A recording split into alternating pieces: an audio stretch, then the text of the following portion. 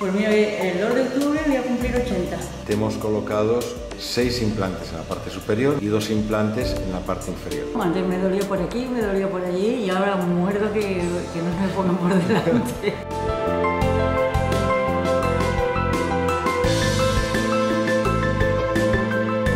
Sí, estoy encantada, encantada. No sé cómo te quedará con otro, pero conmigo te ha lucido.